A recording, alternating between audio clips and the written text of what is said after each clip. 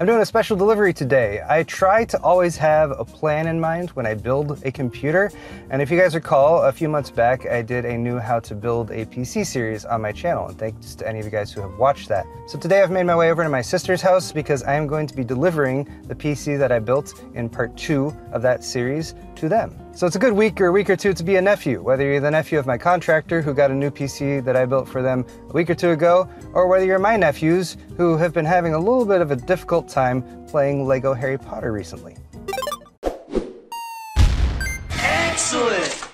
Today's video is brought to you by the Corsair iCUE Link System Hub, a single small controller that manages all of your system cooling and RGB lighting. The iCUE Link System Hub mounts magnetically to your case and can control up to 14 devices, 7 per port, with daisy chain support so you can simplify your cable management while still enabling glorious synchronized RGB. Corsair's iCUE software can automatically configure iCUE Link components while enabling precise fan speed control and real-time system monitoring. Click the sponsor link in the video description for more on the Corsair iCUE Link System Hub. Here is uh, the current setup, and actually part of this plan goes all the way back to like December of last year because our family present to my sister's family uh, was this monitor here. This, you might recognize, is the Corsair Xeneon, the original 32 inch 2560 by 1440 uh, 160, 185 hertz, I forget. It, it's a high refresh rate monitor, variable refresh rate, and all that good stuff. And it was a big upgrade from uh, what they were using before, especially when it comes to gaming. The PC that they've been running, you guys may have seen on my channel before because I and my brother-in-law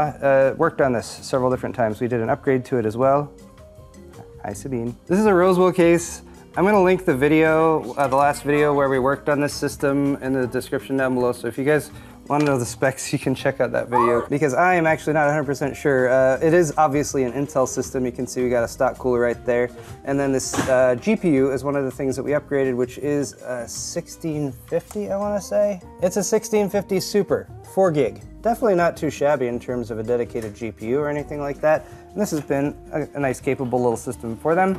But because this system over here was built to be sort of a, a beginner system, a starter system for people who are building their own PC, uh, and it has a Ryzen 5 5600 and a RTX 3060 Ti 8 gig, uh, it's definitely gonna be a big old upgrade. Ian grabbed the graphics card box, so we're confirming. That's a Zotac GTX 1650 Super. Not a shabby graphics card by any stretch, but it is a bit entry level still, only 4 gigs of VRAM, so especially since we have this uh, higher refresh rate monitor, higher resolution monitor than 1080, uh, a new system, a new graphics card is totally warranted. So our goals today are pretty simple. We're gonna get the new system set up and installed right here. We're gonna try to get dual systems set up so they can switch back and forth because they're gonna need to copy stuff from the old system, of course. And then uh, Ian and Evan, my nephews down here, have been having some issues with Lego Harry Potter, so we're gonna see if we can transfer maybe the save files over so you can continue your game. And then we'll see if maybe we can get past the part that was glitching or maybe try out a few of the games that they've been playing to see how they perform with the new setup and the newish monitor. How long has the monitor been been deployed now? Uh, only a few months, about a three months. Okay, excellent job on the Walmart there, Jay. Thank you.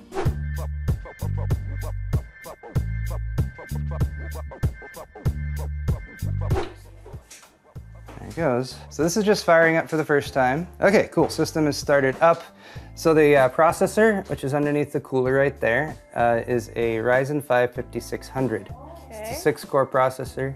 It's a one generation old, but it could be upgraded to an eight core. They even have 12 and 16 cores on this platform. Wow. Or if you ever upgraded like the graphics card further down the line, there is a 5800X3D processor that fits in here uh, that is still one of the best processors for gaming right now. We have a 16 gig Team T-Force uh, DDR4, I, am pretty sure it's 3600 kit. Uh, so that's a good kit, but also potential for upgrades there. You could uh, swap it out for 32 gigs. We also have two fans. We have the fans that shipped with the case, which is an intake down here in the front and an exhaust up there in the back, which is all you really need. But that's, you know, if you want to add more fans, you could also add more RGB lighting. Or you could just put an RGB LED strip in there. The storage is a Kingston NV2 one terabyte NVMe SSD, uh, which is totally adequate for now, but just as with all the other stuff, you could add another NVMe SSD. You've got an open slot down there at the bottom. And of course, you could add more SATA SSDs if you'd like to as well. And since this is a full-size ATX uh, motherboard and, and, build and everything, there are some expansion slots that are down here as well. So once Ian uh, decides to start like a streaming career, right? Uh, streaming and gaming or something like that, you know, you can add your video capture card down there something along those lines if you if you see fit. We're all booted up though. I downloaded a couple games uh, before I came over here so we could fire some up to do some testing. And uh, we just need to figure out where the system's gonna live. I think we should kick the printer out and put it right there. You can switch, you can put the printer down here. Oh yeah, printer could go on the floor. Yeah. We've made a bit of progress. We got the system set up over here. We are connected to internet. Motherboard didn't include Wi-Fi, so uh, we're using a Wi-Fi USB adapter for the time being. And one of the issues that they're having with the other system is getting these Xbox controllers to connect and to remain connected. Uh, so they've been actually plugging them in, like physically plugging them in with the USB plugs which you know works, but it's not the best, and it also meant they were never able to use more than two of them at the same time. So if friends were visiting or anything like that, they wanted to play together, it wasn't quite working. We'll test this in a minute, but it seems like we have all of our Xbox controllers connected.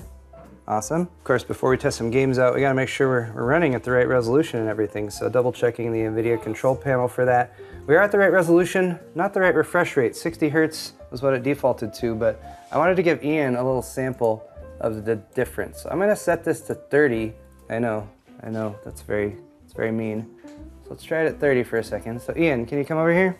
I just want you to take the, the mouse yeah. And see the cursor on the screen and just, yeah. just draw some circles with it. And let, tell me, show me how it feels. It like keeps stopping. It feels sluggish, right? It, like it, feels... it stops for like a milli stops for like like it's not keeping up with you. That's because right now the screen is refreshing 30 times every second. There's multiple yeah. of them if I go like this. Yeah. So let's click on the 30 hertz drop down right there, and can you switch it to just to 60?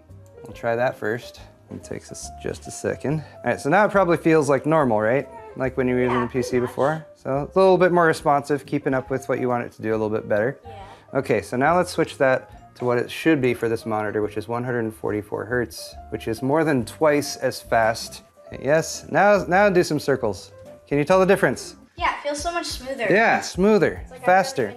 It's giving you information more quickly. Yeah. So you're, you're seeing that the mouse has moved on screen a little bit more fast. So even though the mouse is technically doing the exact same thing as you were doing before, you're seeing that information sooner, so it's registering in your brain sooner, so it gives you the feeling of smoothness and fluidity. And that's why having a higher refresh rate monitor is really nice to have, especially for gaming. So let's play some games. Problem one has been solved, which is that we now have three working controllers and, uh, and, and Uncle Paul won in our race when we were playing Sonic All-Stars Racing Transform. Now we're trying the Lego Harry Potter.